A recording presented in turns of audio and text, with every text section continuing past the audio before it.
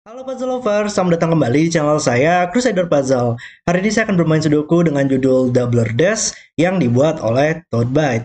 Ya, jadi kita hari ini punya modifier Sudoku ya. Dan saya sebenarnya sudah pernah sih bermain modifier Sudoku sebelumnya di channel saya ini ya. Kemarin di seri saya BT Bytes 3. Tapi saya belum pernah bermain di Sudoku 9x9. Jadi saya sangat menantikan banget untuk bermain Sudoku hari ini. Dan uh, modifier Sudoku hari ini adalah doubler ya. Jadi apa sih doubler ini? Jadi kita harus menempatkan 9 petak pada Sudoku ini. Dan nantinya angka yang berada pada petak-petak tersebut dia akan berubah gitu angkanya. Jadi contohnya kalau di puzzle ini angka tersebut akan memiliki nilai dua kali lipat dari angka aslinya. Wow. Walaupun terdengarnya peraturannya uh, menakutkan ya. Tapi kalau di LMD orang-orang yang telah menyelesaikan puzzle ini telah memberikan penilaian tingkat kesulitannya seharusnya menunjukkan bahwa puzzle ini cukup approachable gitu atau tidak terlalu sulit untuk dimainkan. Oke langsung saja lah kita lihat untuk peraturan dari puzzle hari ini. Kalau kalian ingin bermain puzzle juga, kalian bisa cek di link deskripsi di bawah. Oke peraturannya adalah aturan klasik Sudoku berlaku. Tempatkan 9 petak doublers, satu petak di setiap baris, kolom, dan kotak 3 kali 3 Angka pada angka pada petak tersebut akan memiliki nilai dua kali dari angka tersebut. Angka 1 sampai 9 harus muncul tepat satu kali pada petak doublers. Setiap sangkar hanya bisa memuat maksimal satu petak doublers. Angka sudoku di dalam sangkar tidak boleh berulang. Angka di dalam sangkar harus memiliki nilai yang berjumlah sesuai dengan total yang ditunjukkan. Oke, kita lihat contohnya di sini ya. Contoh, uh, misalkan kita menempatkan petak doublersnya seperti ini. Jadi nantinya kita harus menempatkan petak doublers satu pada setiap baris, uh, satu pada setiap kolom, dan satu pada setiap kotak 3 kali 3 Dan nantinya bakal ada totalnya 9. Kemudian angka 1 sampai 9 harus muncul tepat satu kali pada seluruh petak doubler ini. Jadi nantinya seluruh petak doubler tidak boleh ada angka yang berulang. Um, kemudian di sini ada contoh yang salah ya.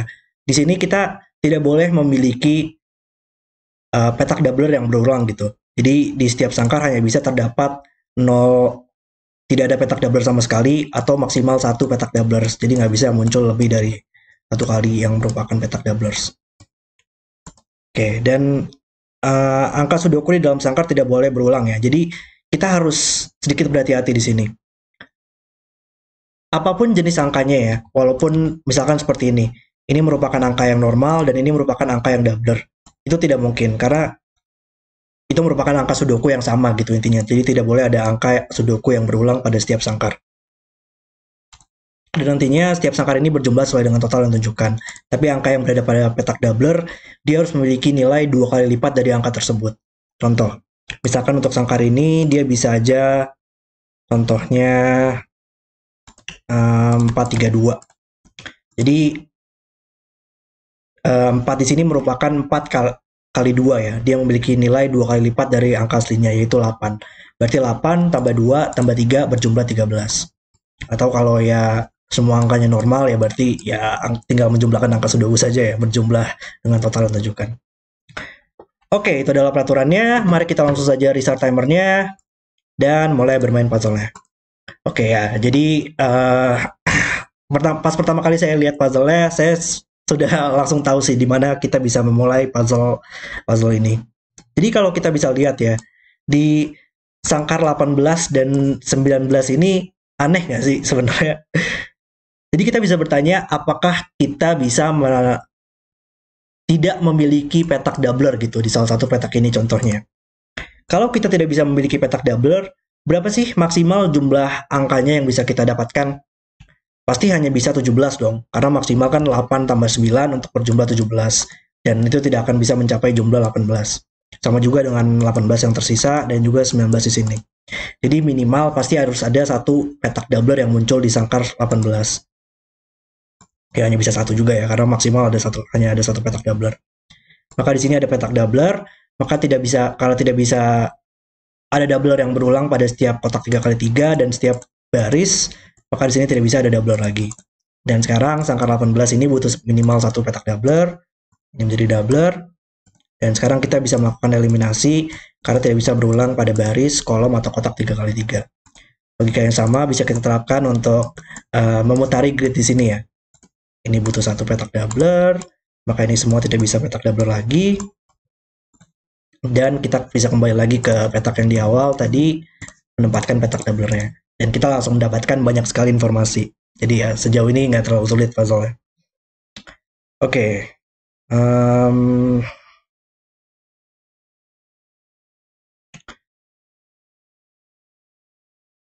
Oke, mungkin kita coba cek dulu kali ya. Cek angka apa sih yang bisa muncul pada petak doubler yang berada pada sangkar 18 dan 19 ini.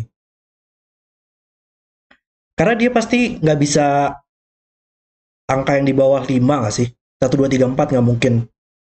Karena walaupun angka yang terbesar pun angka 4 gitu misalnya. 4 kali 2 hanya bisa mendapatkan 8. Dan kita butuh 10 untuk mendapatkan 18. Itu berjumlah terlalu sedikit ya.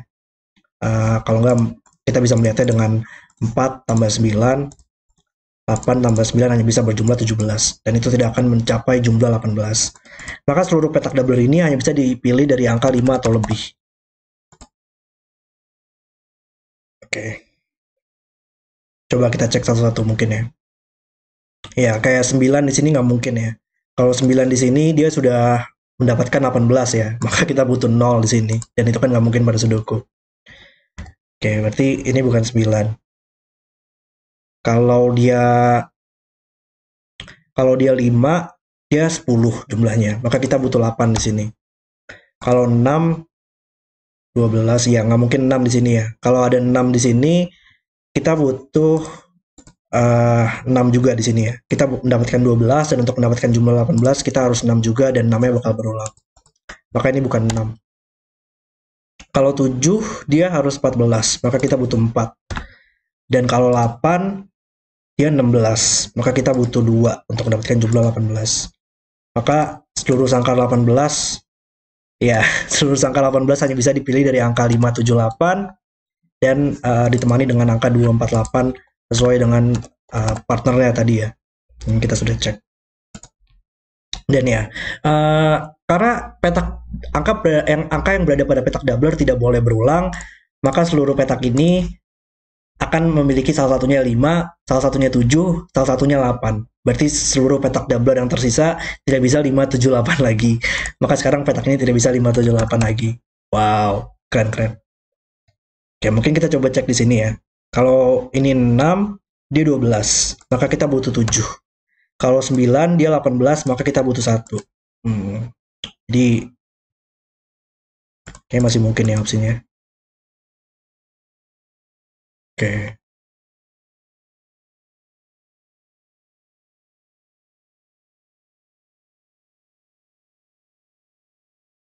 Oke, di mana lagi lanjutannya ya?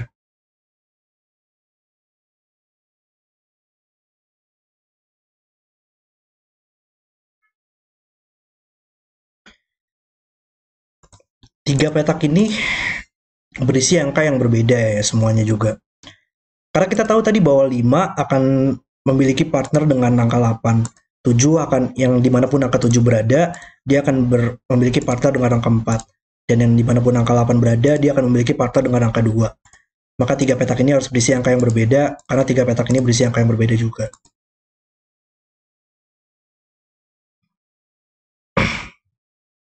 tapi nggak terlalu menarik ya sepertinya. Mungkin belum ada deduksi yang bisa kita dapatkan dari tadi.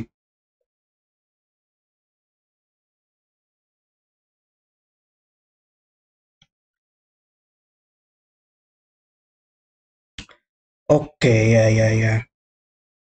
Ya, mungkin kita harus melihat tangkar 11 ini kali ya lanjutannya. Ya, uh, kita tidak bisa menempatkan petak doubler yang berada pada kotak 4 kotak 3 kali 3 ini ya. Dia pasti bakal berada sudah pasti bakal berada pada sangkar 11 ini ya. Semua petak doublernya. Karena kita butuh uh, satu petak doubler pada setiap kotak 3 kali 3. Maka setiap sangkar 11 ini memiliki satu petak doubler. Dan petak doubler yang ditempatkan pada sangkar 11 ini nggak bisa memiliki angka 5 atau lebih nggak sih?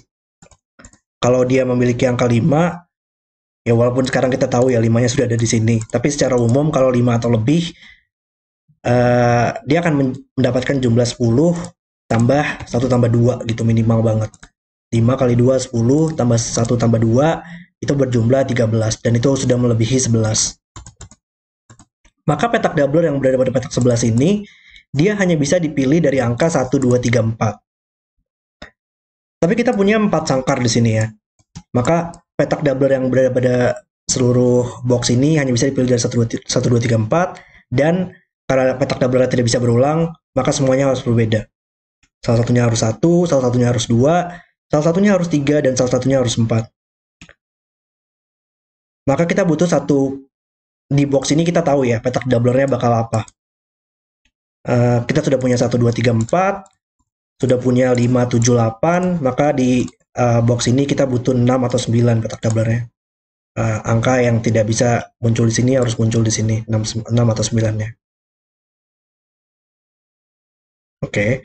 dan uh, tidak bisa muncul di sangkar sih. Karena kalau dia muncul di sangkar, dia minimal uh, lihatnya dari segi yang terbesar aja deh. Kita walaupun di sangkar yang terbesarnya dan seminimal-minimalnya 6 kali 2 mendapatkan 12 dan um, menjumlahkan 1 tambah 2 minimal banget itu sudah berjumlah uh, 15 gitu, sudah melebihi sangkar-sangkar ini. Dan bakal bakal lebih parah kalau kita menempatkannya di seluruh sangkar ini. Maka ini tidak bisa berisi petak double lagi. Oke, okay. nggak terlalu menarik tapi ya. Oke, apa nih trik yang tersembunyi pada puzzle ini?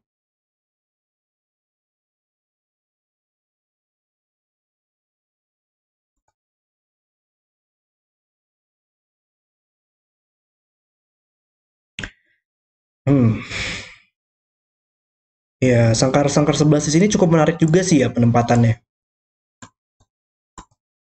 Karena dia bakal selalu bersebelahan dengan sangkar dua petak ini ya di mana seluruh angkanya berbeda gitu. 5, 6, 7, 8.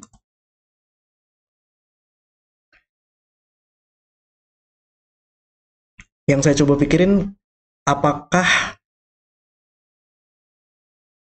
ya kayak sangkar-sangkar ini bisa menentukan bagaimana sih kita menempatkan angka 1, 2, 3, 4 ini gitu pada petak doublernya.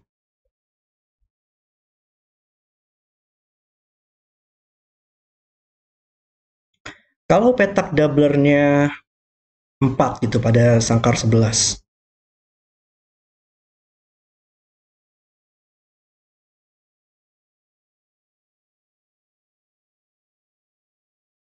Empat, satu, dua.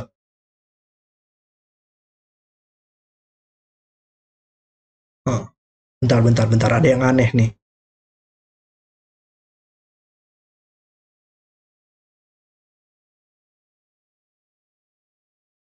Kayaknya saya dapat deh.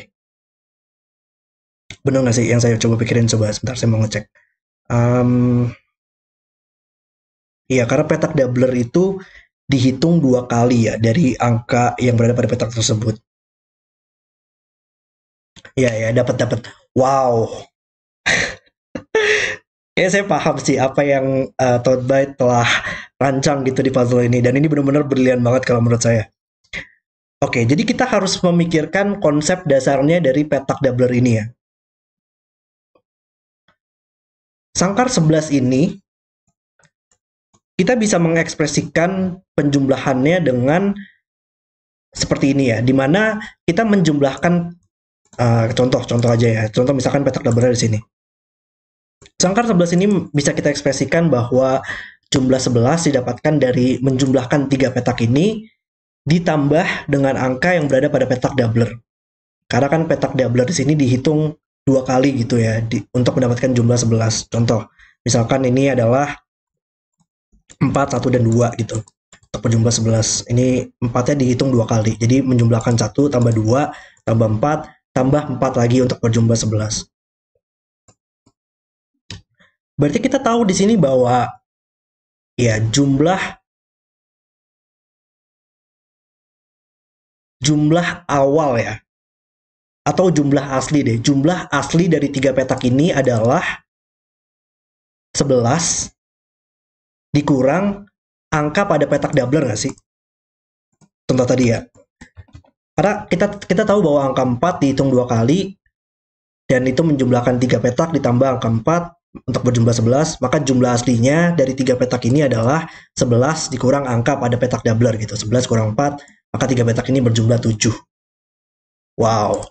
Oke, berarti sekarang kita tahu bahwa jumlah normal ya, jumlah aslinya atau jumlah normal dari tiga petak ini adalah 11 kurang ang kurang angka pada petak doubler. Tapi kita bisa bertanya pertanyaan bahwa apa sih jumlah minimal dari 5 petak ini gitu? Jumlah minimal dari 5 petak ini adalah 15 nggak sih? 1 tambah 2 tambah 3 tambah 4 tambah 5 itu mencapai minimal 15. Tapi kita tahu tadi bahwa um, di mana pun angka empatnya berada, kita mulai bertanya pertanyaan seperti itu kali ya. Kalau angka empatnya angka pada petak doubler yang merupakan 4, jumlah aslinya dari tiga petak ini adalah 7 gitu. Maka kita tidak bisa menempatkan angka 4 yang petak doubler di sini, di sini, atau di sini. Karena kalau kita menempatkan angka 4 di sini, kita tahu jumlah aslinya adalah 7 dan uh, kalau kita gabungin ya 7 tambah 7 itu berjumlah 14 dan tidak akan bisa mencapai jumlah minimal yaitu jumlahnya 15 tadi. Maka untuk mencapai kuota minimal kita harus menempatkan angka 4 di sini sehingga bisa mencapai jumlah minimal uh, 7 tambah 8 untuk berjumlah 15. Dan harusnya logika tadi bisa kita ulangi lagi. Kalau angka 3 muncul pada petak 11 yang doubler, maka 11 kurang 3 yaitu berjumlah 8. Jumlah aslinya adalah 8. Dan 8 tidak mungkin ditempatkan di tiga petak ini. Kalau tiga petak ini berjumlah 8, tidak akan mencapai jumlah minimal. Ini hanya bisa mencapai 14. Maka 3 hanya bisa ditempatkan di sini, sehingga menjumlahkan 8 plus 7 berjumlah 15. 2 sekarang hanya bisa ditempatkan di sini ya. Kalau 2 di sini, uh, jumlah aslinya 9 ya. 9 tambah 5 hanya bisa mencapai 14. Maka hanya bisa di sini. Maka yang terakhir angka satunya yang merupakan doubler harus di sini. Wow. saya nggak paham sih. Ini konsepnya kalau menurut saya benar-benar brilian banget. Dengan menjumlahkan, ya menggunakan properti uh, mengekspresikan gitu ya jumlah dari uh, penggunaan doubler ini dan menggunakan jumlah minimal dari 5 petak. Uh. saya suka banget dengan deduksi itu. Benar-benar brilian banget. Oke. Okay. Dan mungkin sekarang kita bisa melakukan eliminasi di sini. Ya, kayak dua di sini uh, membuat petak ini menjadi satu tambah lima ya. Yaitu berjumlah 6. Dan sekarang tadi kalau dua, tiga petak ini berjumlah aslinya 9. Maka kita butuh ya minimal 2 tambah 3 tambah 4. Artinya bisa ada angka satu lagi. Oke. Uh, berarti ada, kalau ada satu di sini, maka sekarang ini harus 2 tambah 3. Dan sekarang kalau ada satu, dia harus berjumlah 10 ya aslinya. Ya, harus 1 tambah 4 tambah 5 untuk mendapatkan 10. Harus minimal, karena tidak bisa 2, 2 dan 3. Hmm, 3 harus mendapatkan jumlahnya 8 ya aslinya, 3 petak ini. Kita sudah ada 3, maka 8 kurang 3 kita butuh 5 lagi. Maka tidak bisa 2 tambah 3 atau tidaknya bakal berulang, maka harus 1, 3, 4. Kalau 4, uh, kita butuh 7 ya, maka harus 1, 2, 4. Oke. Nah, sekarang di sini tidak bisa 1 tambah 7 lagi, tidak bisa 2 tambah 2 tambah 6, maka harus 3 tambah 5. Di sini tidak bisa 1 tambah 6, tidak bisa 3 tambah 4, maka hanya bisa 2 tambah 5 untuk mendapatkan 7. Wow, saya masih terkagum-kagum sih dengan konstruksi puzzle ini. Benar-benar brilian banget. Oke, tapi ada 2 dan 5 di sini ya. Maka ya harusnya kita bisa menyelesaikan ini sih. Kalau ini bukan dua, maka ini bukan 8 tadi partnernya ya. Kalau ini bukan tidak bisa 5 di sini, maka harus 7 dan ditemani dengan angka 4 tadi partnernya. Oke, ini bukan 7 dan uh, ini bukan 4 ya. Ya, dan ada dua di sini membuat ini menjadi 8. Oke, ini 8 dan 5 Oke, masih oke. Sekarang ini menjadi 8 dan ini menjadi yang 2. Nice. Oke, 2 menyelesaikan 2 dan 5 di sini. uh, 5 menyelesaikan 5 dan 3.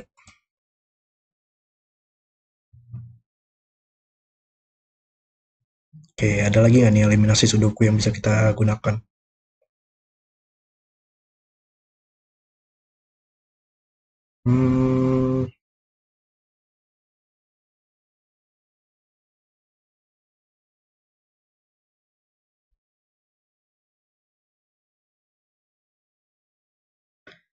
tujuh di baris ini hanya ada satu tempat. tujuh tidak bisa di sini oleh sudoku, maka hanya bisa di sini.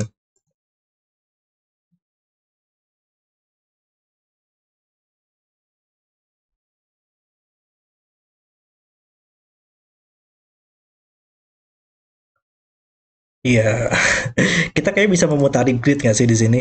Angka 8 di kolom ini hanya bisa di sini. Uh, ya petak petak ini ya, petak ini ntar dulu deh, tapi kita lihat mungkin dari yang ya kolom ini ya. Kolom ini uh, 8 di sini hanya bisa ditempatkan pada satu tempat yaitu di sini. Ini puzzle-nya benar-benar uh, banyak logika simetris juga di sini ya. Luar biasa banget. Kenapa di kolom ini kita butuh 6 dan 9 maka yang tersisa di box ini adalah 3 dan 4 yang bisa kita tempatkan. Dari sini kita butuh 6 dan 9. Oke. Uh, di sini kita butuh 1 dan 9. Enggak, 1 dan 3. Eh, yang bisa kita selesaikan. Oke. Um, kolom ini kita butuh 6, 7, 9 ya. Oke, tapi baris ini juga kita butuh 679. Oh ya, dan ini membentuk triple ya di sini. Tiga petak ini hanya bisa dipilih dari angka 679, maka yang petak-petak yang tersisa harus berisi 124. Maka ini bukan 7 lagi, ini menjadi 1, menjadi 24 yang bisa kita selesaikan. Satu juga melihat ke atas. Dan tadi ini harus 9 ya, harus 18 tambah 1 untuk berjumlah 19. Nice. Oke, berarti kita tahu ya sekarang di uh, petak doubler yang berada, berada pada box ini apa. Kita sudah punya 5, 7, 8, 9, 1, 2, 3, 4. Maka yang tersisa adalah yang petak doubler sini adalah 6. Oke, box ini butuh 1 dan 4 yang bisa kita selesaikan. Uh, melihat ke atas, menyelesaikan 3 dan 2 di sini. Uh, 9 sekarang di baris ini ya. 9 hanya bisa di sini. Oke, dan kita punya posisi seperti ini. Oke, berarti selanjutnya kita harus memikirkan sangkar di sini ya. Atau mungkin ada sedikit sudoku yang membantu. Nggak ada sih karena uh, kosong ya semua seluruh petak ini tidak tidak melihat satu sama lain gitu. Jadi belum belum banyak sudoku yang bisa membantu. Oke, mungkin kita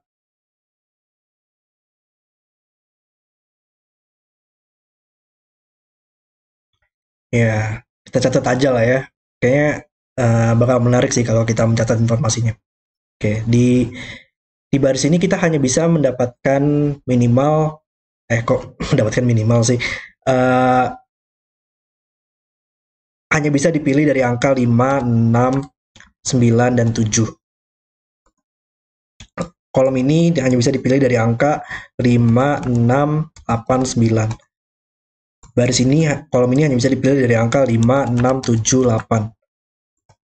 Uh, baris ini hanya bisa dipilih dari angka 6, 7, 9, dan 8. Dan ya kayaknya uh, ya di sini banyak logika-logika minimal deh sepertinya. Karena sekarang kita bisa lihat di sini ya. Minimalnya adalah 5 tambah 6 tambah 1 di sini untuk berjumlah uh, eh, 13. Maka petak ini hanya bisa dipilih dari angka 1 atau 2. 5 tambah 6 berjumlah 11 minimal. Kalau ini 3, maka kita berjumlah 11 tambah 3 untuk berjumlah 14. Maka itu terlalu banyak. Oh enggak, ini di sini aja sih kita bisa melihatnya lebih simpel ya. Di sini ada 5 tambah 6 minimal, maka harus ada satu di sini untuk berjumlah 12 minimal banget. 5 tambah 6 tambah 1. Oke, 5, 6, 1 di sini. membuat petak ini menjadi dua dan ya sekarang kita tahu ini menjadi minimal juga 5 tambah 6 uh, ini bukan 5 tadi ya dan ya di sini juga minimal lagi sekarang ya ya di seluruh petak ini banyak banget logika minimal nih. Dan di sangkar ini sekarang minimalnya adalah 3 tambah 5 tambah 6 untuk berjumlah 14 maka harus semuanya minimal. Dan kita tahu penempatannya seperti apa. 5 nya tidak bisa di sini soalnya. Uh, eh, 5 menyelesaikan 6 dan 5 di sini. 6 lihat ke samping. Uh, baris ini butuh 7 6 menyelesaikan 6 dan 7 kolom ini butuh 8 oke ini bukan 5 Ups. Kolom ini angka 8 nya yang bisa ditempatkan di sini tidak bisa di sini oleh sudoku oke dan 6 menyelesaikan 6 dan 7 uh, eh, ini bukan 6 atau 7 lagi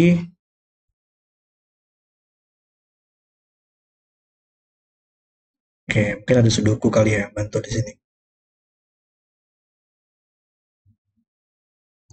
Satu dan lima membuat petak ini menjadi empat. Uh, dan empat bukan petak doubler ya. Dia harus yang doubler sini adalah angka satu. Maka ini bukan empat. Empat dan tiga membuat petak ini menjadi dua dan dua di sini adalah petak yang doubler. Maka yang tersisa tidak bisa ada doubler lagi Oke, ini bukan 6. Kolom ini butuh 7, 8, 9. Ada naked single di sini. Tidak bisa 8 atau 9. Nah, 8-nya juga bisa kita tempatkan ya. 8 dan 9 di sini. Nah, membuat petak ini menjadi 6. Dan menyelesaikan 6 dan 9 di sini. Jadi kita benchmark aja lah ya. Kita butuh 1 dan 5 di sini. Uh, di sini butuh 2 dan 3 yang bisa kita selesaikan. Lihat ke atas. Di sini 7, 9, dan 2. Oke, di sini butuh satu, nggak bukan satu, 9, 7, dan 3. Ini bukan 3, ini bukan 9. Uh, ini bukan 9, ini bukan 2.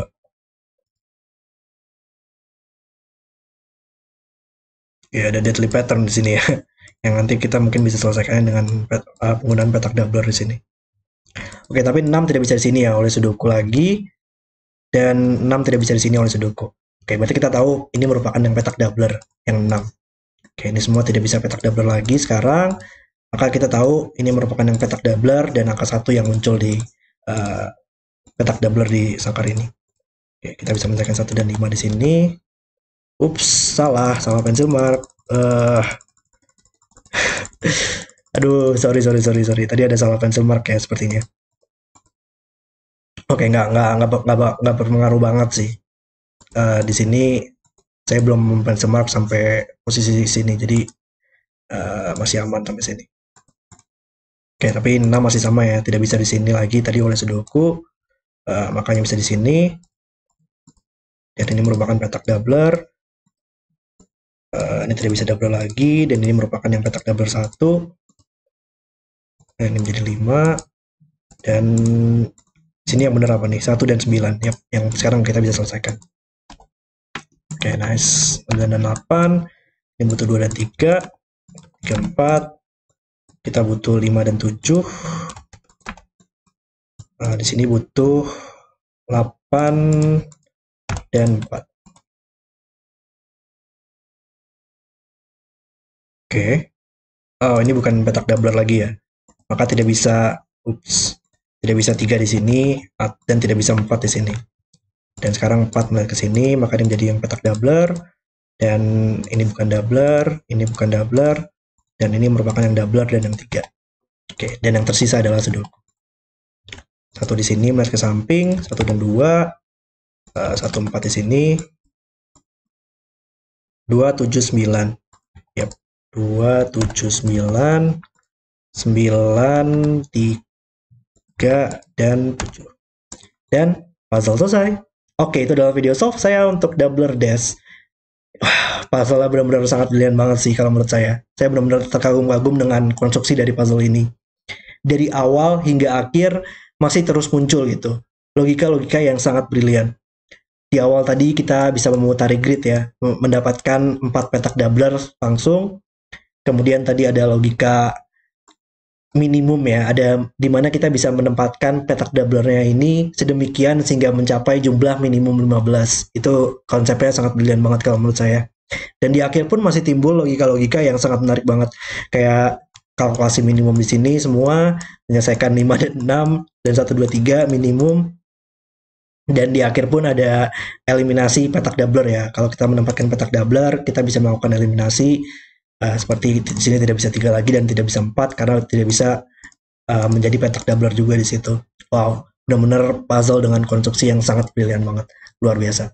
Oke, terima kasih sudah menonton video hari ini. Kalau kalian suka dengan video, jangan lupa like dan subscribe dan sampai jumpa di video berikutnya.